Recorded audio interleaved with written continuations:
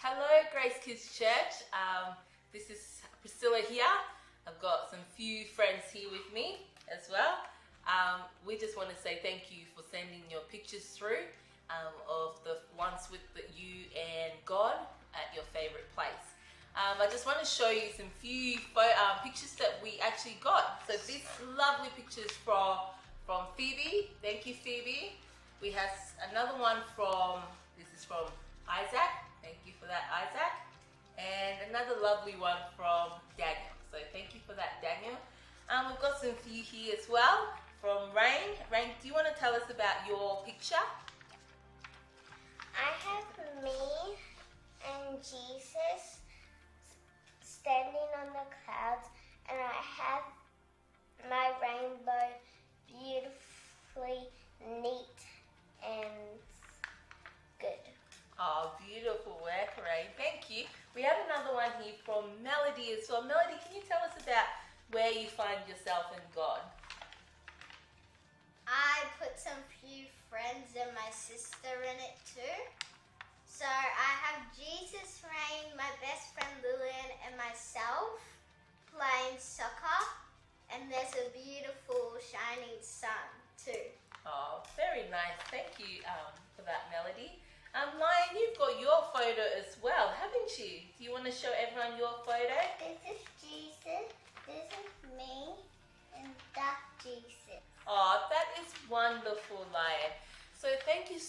much for doing that. Um, this is a great way to get everyone involved in um, just, you know, the fellowshipping with God and especially not being together, but just know that we are praying for you guys and we're praying for one another as well.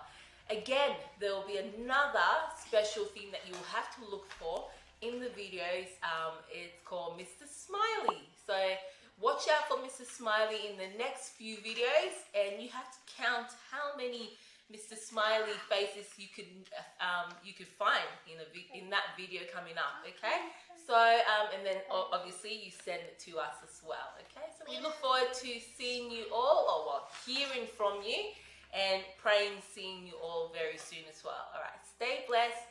Bye. Bye. We love your pictures. Bye. We'll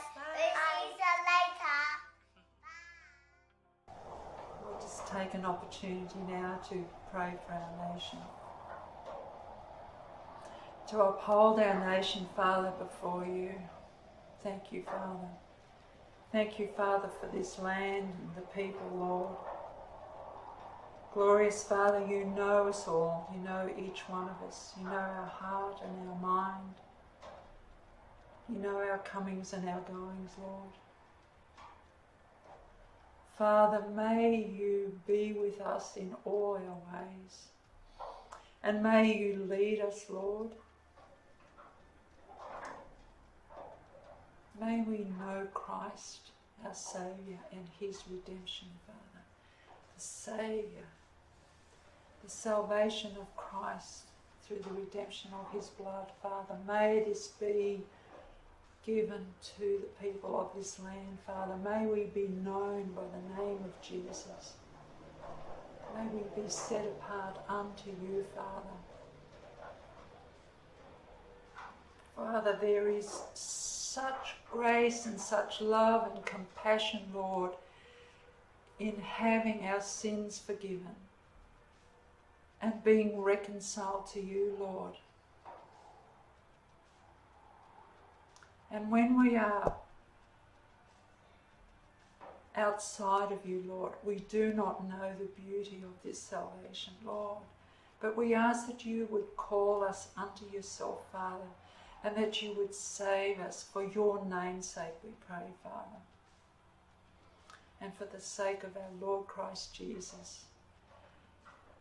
May we live in Christ, for Christ, Father, by his blessings. Father, for his covering, there is security and provision, Father, and that is what this nation needs, Lord, right now, is security and provision. And so, Father, may this blessing be upon us at this time. May we know you, Father, and know the purpose you have for our life. And may we live, Father, according to your word. And may we find, Father, a home with you. And I pray all of this in the name of the Lord Jesus Christ with all honour and gratitude to him. Amen. Hello, we have been looking at living in the presence of God. Now, one of the titles that is given to Jesus is Emmanuel, which means God with us. And I believe that we are all carriers of the presence of God. And the early church did this, you know, they continually gossip in the gospel, you know, they became known as Christians or little Christ.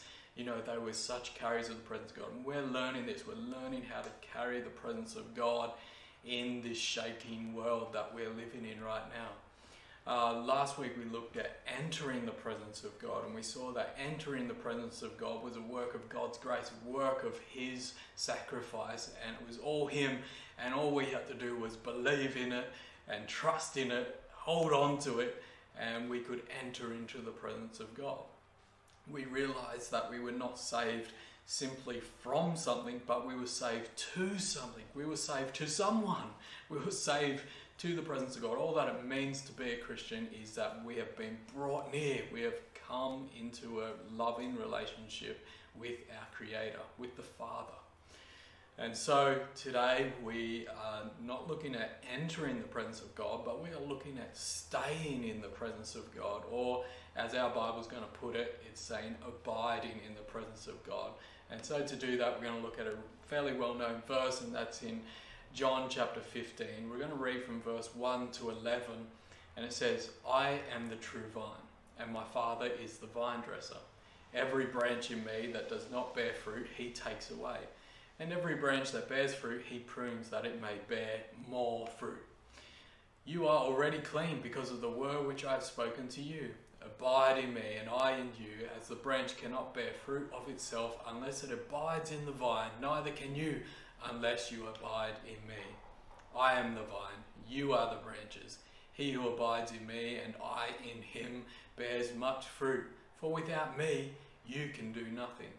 If anyone does not abide in me, he is cast out as a branch, and he and is withered, and they gather them and throw them into the fire, and they are burned. If you abide in me, and my words abide in you, you will ask what you desire, and it shall be done for you. By this my Father is glorified, that you bear much fruit, so you will be my disciples.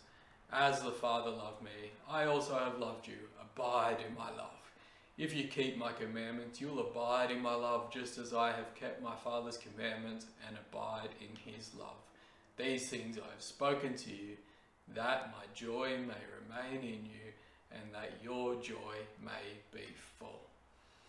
There are four things that I want to look at in from this passage of scripture in regards to abiding. And one of the things, the first thing I want to look at is some of the presumption we have around abiding. I want to look at some of the despair that comes from like verses like he's going to prune us or he would cut us away. You know, what's that about? I also want to look at how fruitful we can be when we abide in the presence of God. And I want to also finally look at uh, getting prayers answered through abiding in the presence of God.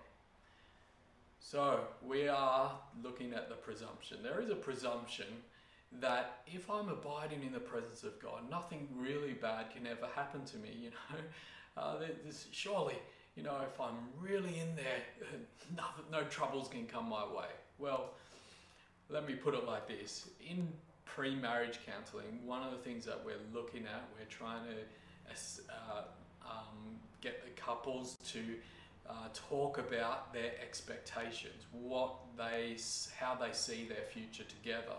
And one of the aspects of that is are they anticipating any form of hardship to come? Because we know that even in the best of marriages, you know, there are difficult roads ahead. You know, lots of ups, sure, but there's also some difficulties, you know, that come along the way.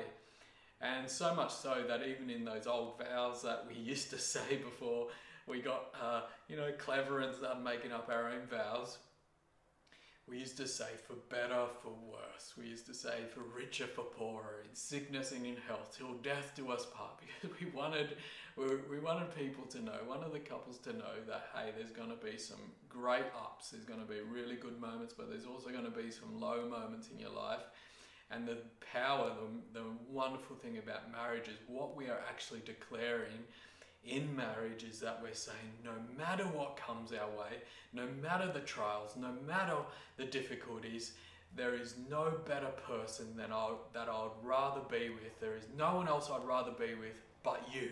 I am, I am dedicating my life to you because with you we can get through everything, thick and thin, together.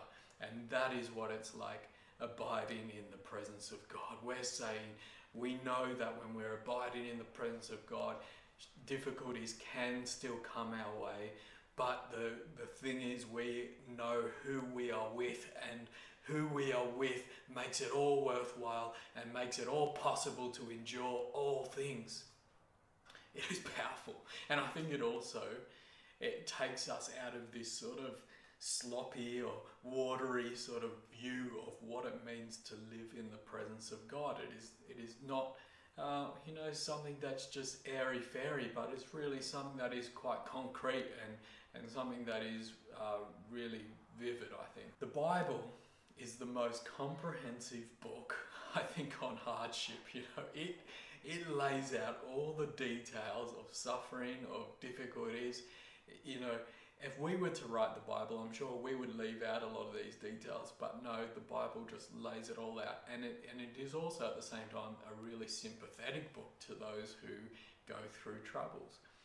Um, it is very realistic. It, it gives, it shows us good characters, people who, um, as far as we can tell, had done nothing wrong, nothing to deserve it, but they went through troubles. And even its central character, the hero of the story, it goes through the most gruesome of suffering. He suffers the most, he suffers for all. You know, Jesus Christ, of course, you know, he goes through the most amount of suffering, and he is the epitome of someone who spends his time in the presence of God, isn't he? The Apostle Paul also uh, gives us this insight in 1 Corinthians chapter 2 and verse 3. He says, I was with you in weakness, in fear, and in much trembling. So He's even going this step further because we think that we can think sometimes, sometimes it's a lot more subtle for us. It, it's more comes like, I know there's going to be hardships, I can accept that, but I can never talk about them. That's not what a strong Christian does. That's not a, someone who is abiding in the presence. They don't talk about it, they don't confess it, you know. No, but he acknowledges it. He says, I was with you in weakness and fear and in trouble. You know, he, again, another person who knew the presence of God, abided in the presence of God. He even says in one place that I may know him and the power of his resurrection and the fellowship of his sufferings. He knows that uh, hardships and abiding, they can coexist. And it is the fact that God is with us that can take us through. He calls it the fellowship of his sufferings. It's God with us that takes us uh, through those hardships. Jesus, too, never uh, you know, goes part, never hides over, never glosses over the, the fact of difficulties. In verse 18 and verse 20 of this same chapter, he says, They hated me. Guess what? If you abide in me, you're going to be hated. You know, if you if they persecuted me, guess what? If you abide in me, there's a good chance you're going to be persecuted also. So this this mindset uh, of suffering and abiding, um, it, it, it is brought together. Well, this, this idea of suffering and abiding are brought together in the Bible context, and, there, and it really is a realistic approach to it. Uh, we're not hiding from it, we're not saying it doesn't exist, we're not living in some magical world that if we just don't acknowledge it, we don't uh, address it, then you know it just goes away. No, it is very real. It says suffering is there, but the presence of God. In verse 2, I think it even complicates things a bit more because it says that God, the Father, the gardener, is at, he's he's in the business of this, you know, difficulties. He, he's in amongst it all. He's there pruning. He's there cutting, you know. And this leads us on to our second point. You know, this despair that comes when we read 50, uh, chapter fifteen, verse two, says. Every branch in me that does not bear fruit, he takes away. Or some translations say, he cuts away.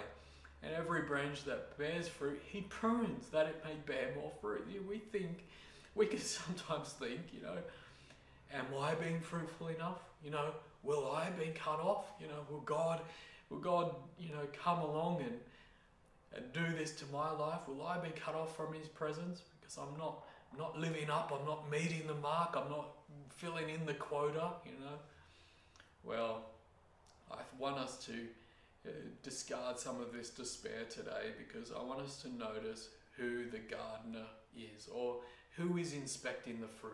It says the Father. He is the gardener and he is inspecting the fruit.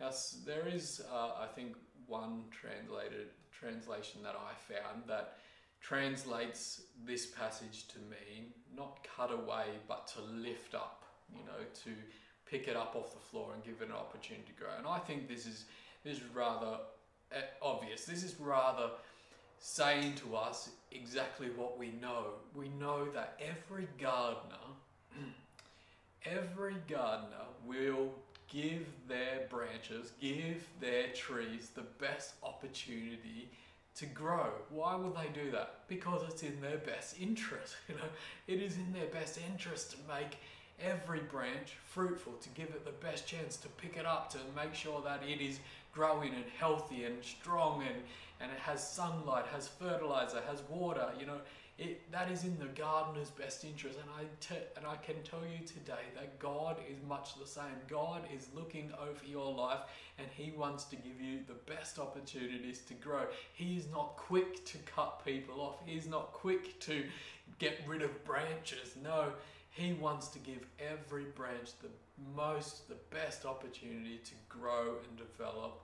That is His life. He, that is His uh, purpose uh, for us.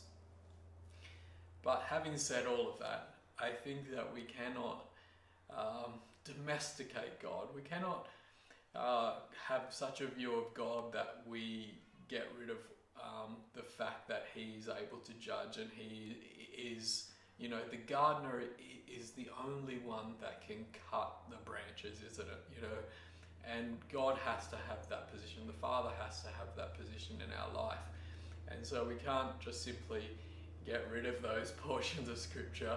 But I think God definitely does not want us to be worried about that. He does not want us to be filled with despair. He doesn't want us to be overcome by these facts that God is a judge because we because the, the thing is, we are in Christ. And uh, the other reason why I know that God doesn't want us to be worried about it is because in verse 11, Jesus tells us that these things I have spoken to you, that your joy may remain in you and that your joy may be full. You know, the whole purpose of this passage of scripture is an encouragement. He's trying to give us good news, He's trying to fill us with cheer.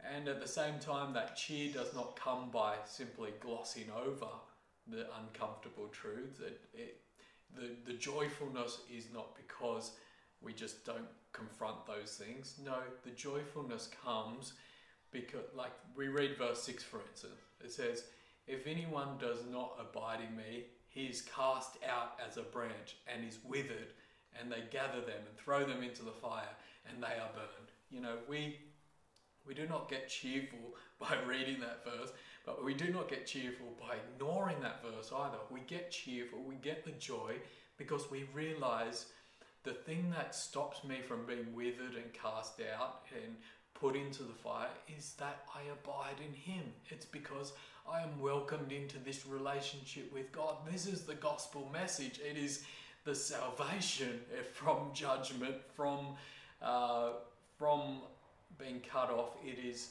it is reconnecting. It is uh, that relationship that makes the gospel the good news and causes us to have cheer. We see what we have been saved from, and we see what we have been saved to. But this picture, you know, has to, one of the main features of this picture is to show us how fruitful we become, you know, from being connected to the vine. And in verse 5 it says, I am the vine, you are the branches, he who abides in me, and I in him bears much fruit, for without me you can do nothing. So what are we talking about? This fruit. What, what is what is the fruit we're talking about? Well, one of the easiest um, sort of verses that come to mind, obviously, is Galatians chapter 5, uh, verse 22, where it talks about the fruit of the Spirit is love, joy, peace, patience, kindness, uh, goodness, faithfulness, gentleness, and self control. You know, we're looking at those. Uh, all of those attributes of love, really. We could round them all up and say the fruit of the Spirit is love because, you know, all the rest of them are sort of pictures, parts of love in a sense. And so, but could I say this, uh, clarified a bit more like this, is that fruit is, is not so much for the tree as it is an advantage for those outside of the tree, isn't it? It's, it's an advantage for those around us, you know, all around us uh, although, you know, if we were a tree, the, the people around us get to enjoy the fruit. They're the ones that benefit from the fruit. So, to be fruitful means that our lives become such, so, so much so um, fruitful that they are a benefit. You know, our lives benefit. They're a, they uplift the lives of those around us. They bring this sweetness to life to those around us. That's what it means to be fruitful.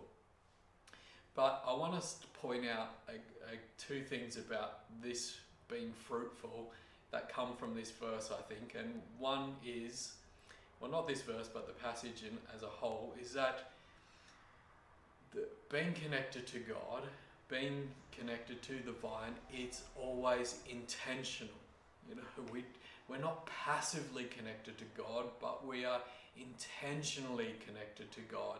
And we find that in verse 6 and 7, they both start with if. You know, if anyone abides in me, or if anyone does not abide in me. You know, we we see that there is a, a in this picture somehow the branches have a choice whether they are connected to the vine or not, and this is how our lives are. There's an intentionalness.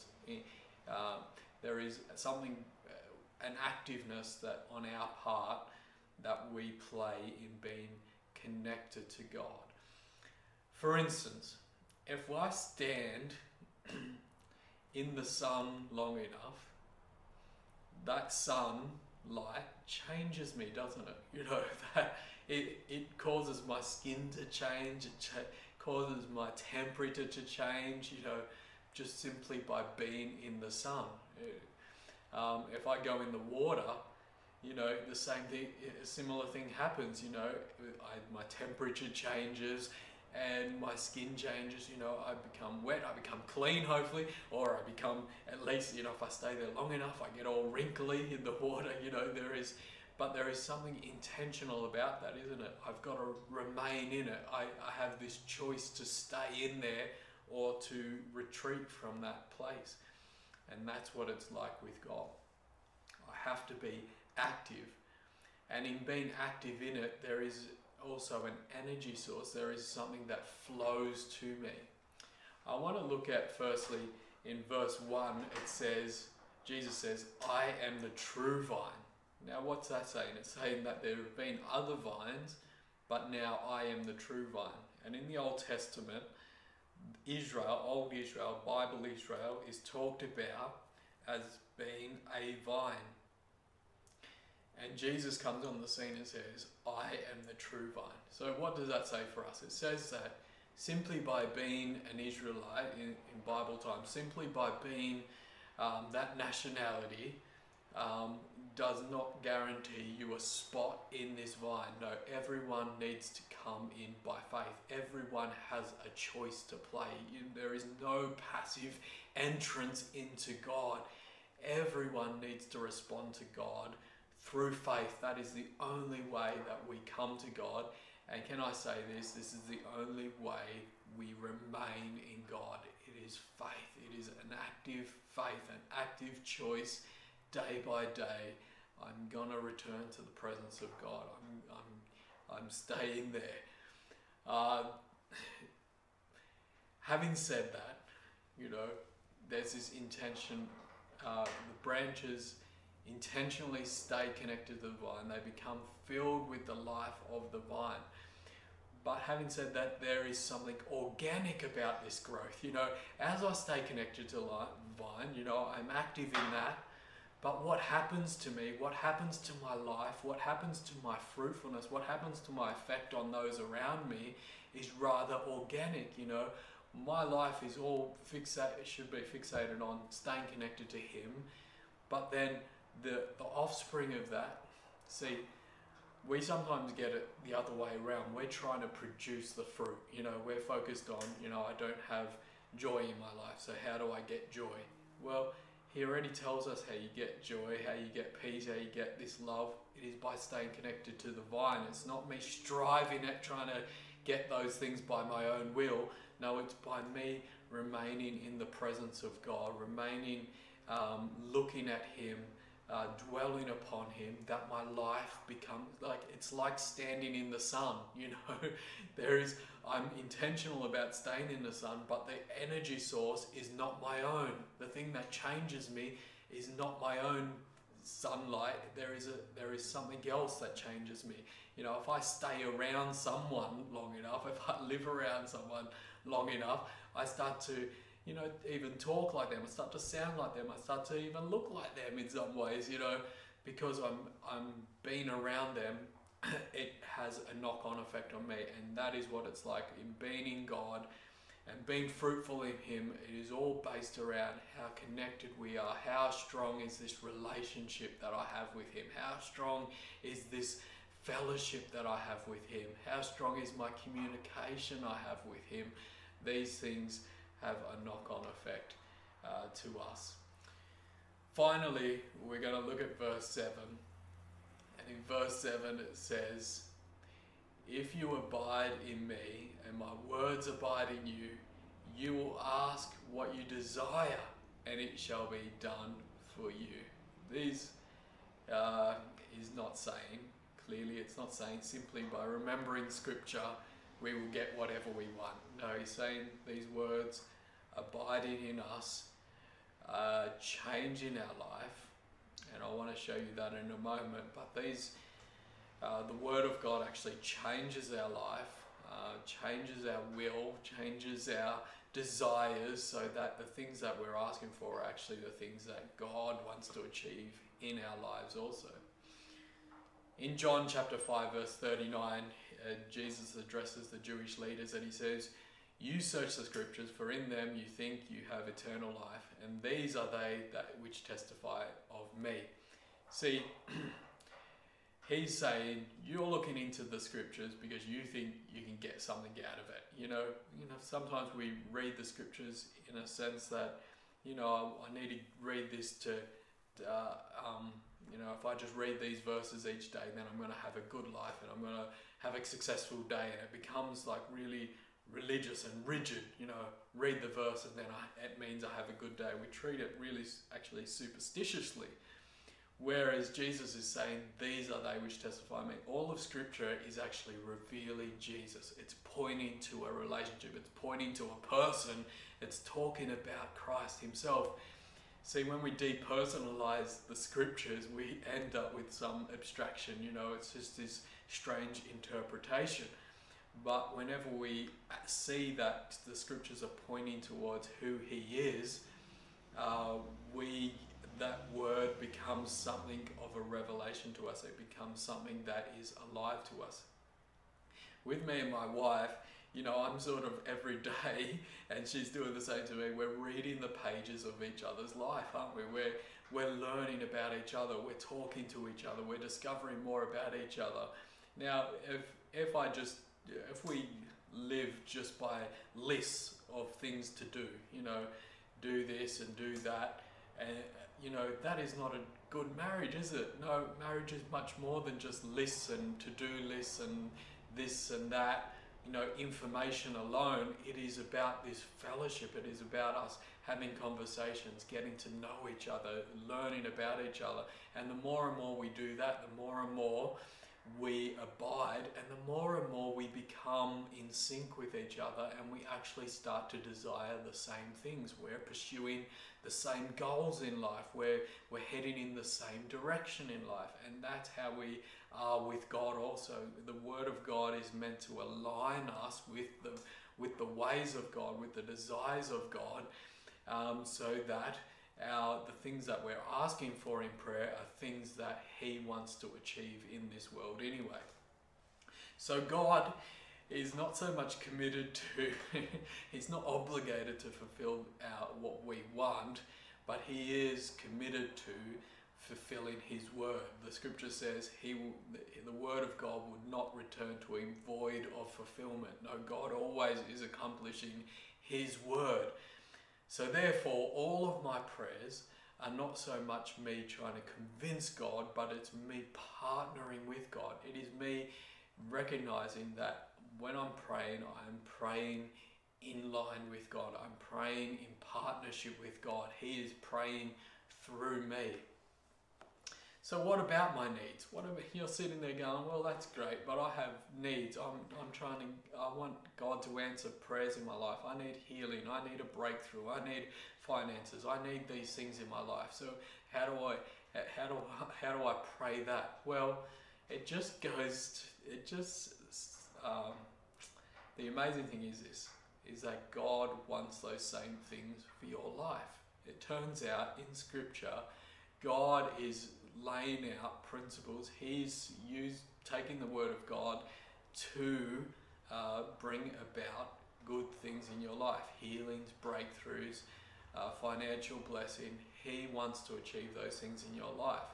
I love this story in the Bible where the leper comes to Jesus and says, Lord, if you are willing, you can heal me. And Jesus, says, touches him, touches the leper, and says, I am willing.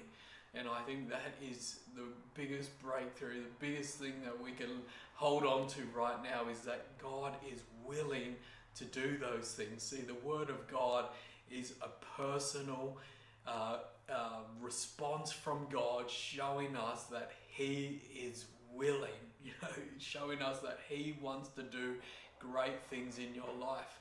So, therefore, I am not begging God in my prayer. But when I come with the words of God and those words are abiding in my heart, it is a personal note from God showing me that the things I'm praying, I'm praying in accordance with the things that God wants to achieve in me and God wants to achieve in this world and God wants to achieve in my neighborhood, in my circumstances. And so this is how abiding and getting answers to prayer work together.